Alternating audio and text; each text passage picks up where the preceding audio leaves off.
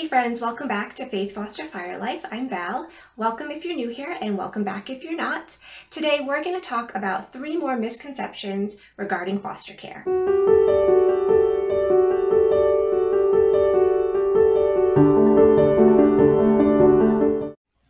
Today is our fourth video in our series on misconceptions and tips and tricks in doing foster care.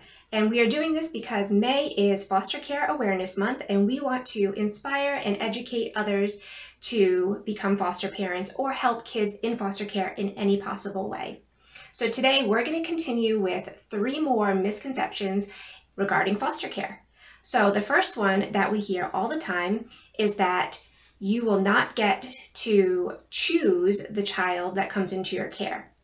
Now, this is kind of half truth uh, you will be asked what age, gender, um, uh, specific type of child. And when I say specific type of child, I mean, do they have um, a medical need? Do they have behavioral issues? uh, things of that nature. You will be asked those questions, and you can tell them that you would like to take a girl or a boy or um, a certain age range, and you will let them know too if you're equipped to care for children with medical needs or behavioral needs or things along along those lines. So you do get a choice in those things. Now, I will be very honest in telling you that when children come into foster care, usually they are unknown, or I shouldn't say usually, sometimes they are completely unknown to the system. They have had no interaction with social services up to that point. So the caseworker that is removing them from the situation that they're in, they don't really know a whole lot about the child. They're only going on what the parent or caregiver that they're currently with is telling them. So you may say yes to a child, and lo and behold, they do have behavioral issues, they do have medical problems, things like that. But they do try their best to gather that information ahead of time.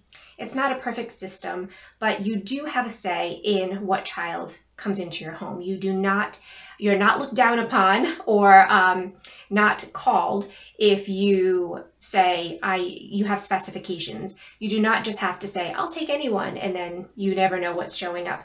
They really really want to make sure that the right child is placed in the correct home for that child. So they want to make sure that you are prepared to care for them.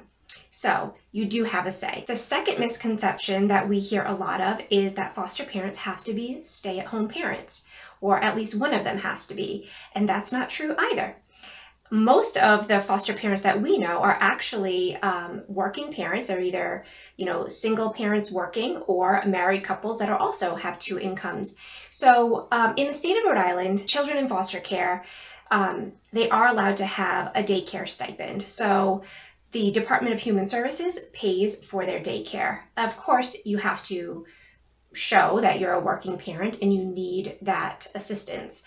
Um, so don't let the fact that you work full time or part time stop you from becoming a foster parent. Uh, it's just the same as if you had your own biological children and you chose to continue in your career and you send them to daycare. The other thing to note is that the average age of a child in foster care is about seven to eight years old. So that's school age. And um, as a foster parent, they you cannot homeschool your children, your foster children, so they have to go to public or even private school. Most of the time it's public school, and a lot of times they try to keep them in their original public school. Uh, but so that child is going to be in school the majority of the day, at least during the school year. And then again, you can get resources to help pay for after school or before school care. So again, that shouldn't be a barrier to becoming a foster parent. It is not true that you have to be a stay at home parent to foster.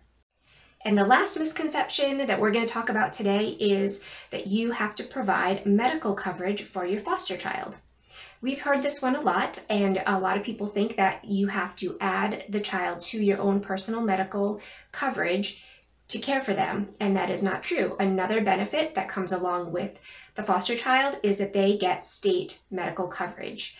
And this is already in place. Um, when a child comes to you, one of the very first things that they establish is medical coverage because one of the first things you have to do as a foster parent is get them in to see a doctor. Most of the time, the children that come into care have not seen a, a pediatrician in a long time, um, and they need their, um, you know, all of their medical updates happening, you know, physical, vaccinations, things like that. And sometimes they're also coming into care from an abuse or a neglect situation and they need to see a doctor right away. Um, so they all have state medical coverage. So you do not have to add them onto your own personal medical coverage. And so that also should not be a barrier to deciding to become a foster parent. So we just want to thank you guys so much for jumping into our community here at Faith Foster Fire Life. And this month of May is just so special to us. And we hope that these videos are bringing some awareness, some education, and maybe some inspiration to helping kids in foster care, whether you're thinking about becoming one or in previous videos that if you've missed them, I will link them below about different ways that you can help kids in foster care and the families that care for them without becoming a foster parent. We've got a couple of videos that help you um, Um, in that area as well. So if you guys found value in this video, we'd love it if you gave it a thumbs up and if you subscribe to our channel. And again, as always, please comment down below with more questions that you have, your experiences, all of those kinds of things help us and they help the other people watching our videos as they read through the comments. So we hope that today you can go out there and love God and love others, and we will see you in the next one.